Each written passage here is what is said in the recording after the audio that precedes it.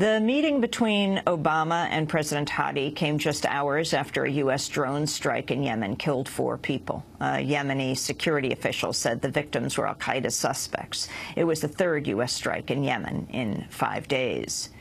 Secretary of State John Kerry told Pakistanis on Thursday he hopes the U.S. will stop carrying out drone strikes in their country, quote, very, very soon. Kerry made the remarks in a television interview following a meeting with Pakistani Prime Minister Nawaz Sharif. He claimed President Obama has a very real timeline for ending the drone strikes. Meanwhile, an investigation by the Bureau of Investigative Journalism solidifies claims the CIA targeted rescuers at the scenes of earlier drone strikes in Pakistan.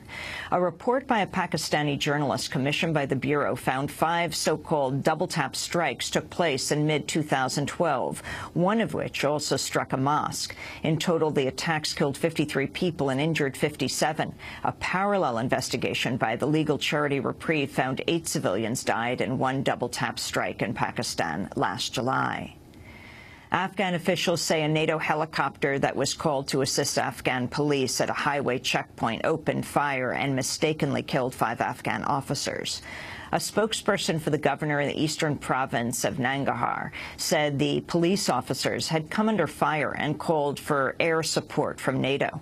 Spokespeople for the U.S.-led International Security Assistance Force in Afghanistan provided a slightly different version of the incident to the Associated Press, saying the NATO helicopter killed five Afghan soldiers during an operation involving both international and Afghan troops. They said an investigation is underway. The news comes as the U.S. Army has launched a new investigation into allegations that special forces have abducted and killed Afghan civilians. Afghan President Hamid Karzai briefly ordered a ban on U.S. troops in the province of Wardak earlier this year over claims of the abuse and disappearance of nine Afghan prisoners.